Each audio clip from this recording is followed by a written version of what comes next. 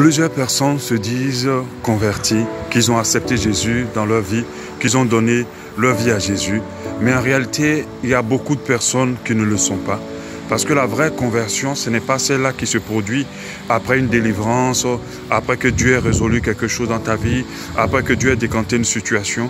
La vraie conversion, elle passe par la repentance. C'est-à-dire, tu te rends compte que ta vie que tu menais est mauvaise et que tu es prête à l'abandonner. C'est seul par la repentance que nous venons vraiment à Jésus et que nous pouvons rester. Ceux qui se convertissent par d'autres moyens, sans passer par la repentance, ne peuvent pas rester en Jésus-Christ de Nazareth.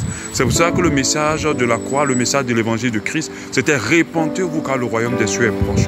Donc j'aimerais dire à quelqu'un, cherche vraiment à être touché par l'esprit de repentance et là tu seras sûr que tu es vraiment et véritablement converti. Que Dieu te bénisse et je te souhaite de passer un très bon dimanche. Amen.